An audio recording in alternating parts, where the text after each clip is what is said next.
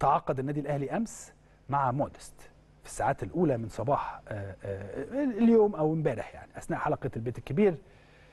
أعلن النادي عن تعاقده النادي الأهلي عن تعاقده وتقديمه لمهاجم الفريق الجديد الفرنسي أنتوني مودست.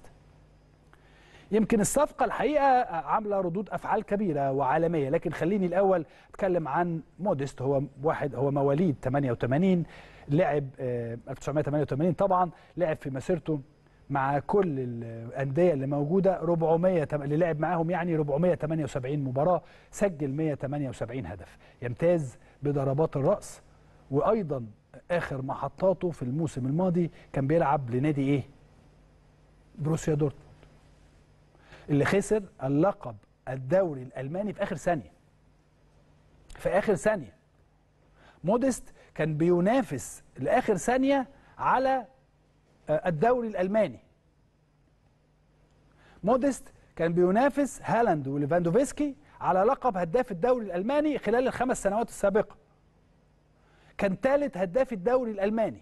تألق بشكل كبير مع فريق كولن أكيد هيكون إن شاء الله أتمنى أن يكون إضافة كبيرة لهجوم. آه، لهجوم النادي الأهلي. في الموسم اللي جاي.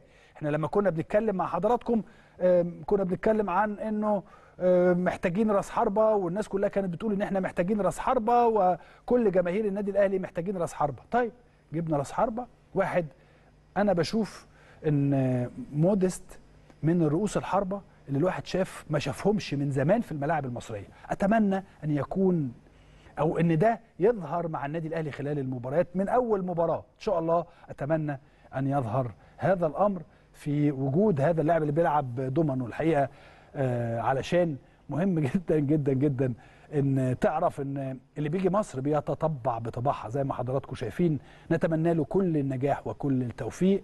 خلال مسيرة أعتقد إن هي هتبقى مسيرة صعبة جدا جدا جدا خلال هذا الموسم.